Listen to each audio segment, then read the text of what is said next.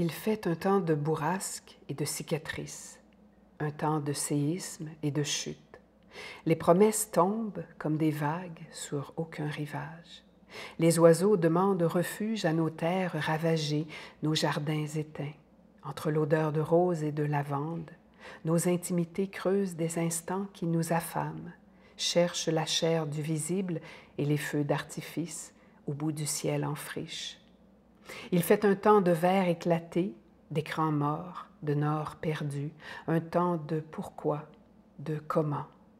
Tout un siècle à défaire le paysage.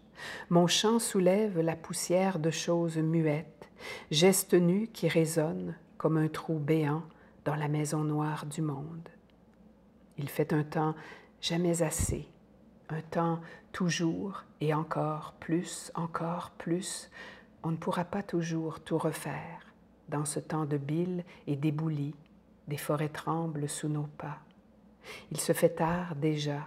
Nos recommencements demandent des mots neufs, une espérance derrière les fenêtres, des joies suspendues aux cordes de matin, et déjà le paysage fissuré ramènera vers nous un peu de clarté.